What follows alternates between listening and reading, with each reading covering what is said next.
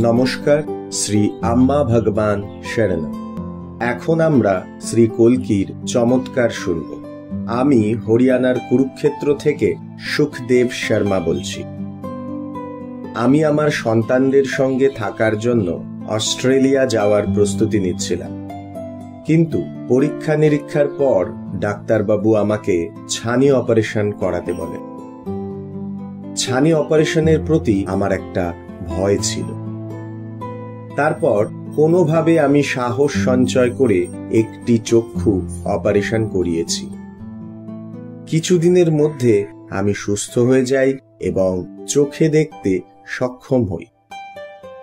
আমার স্ত্রী অপর চক্ষুটি অপারেশনের জন্য জোড়াজুড়ি করছিলেন।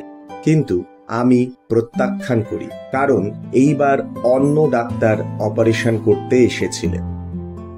আমি অপারেশন থিয়েটারে থাকাকালীন শ্রী কলকিকে প্রার্থনা করি যে ভগবান দয়া করে একটু দেখবেন যেন সেই একই ডাক্তার অপারেশন করেন যিনি পূর্বের অস্ত্রোপচারটি করেছিলেন।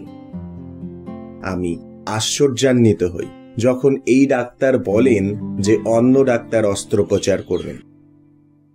আমার আনন্দের সীমা ছিল না। অস্ত্রোপচারের পর বর্তমানে আমি ভালো আছি।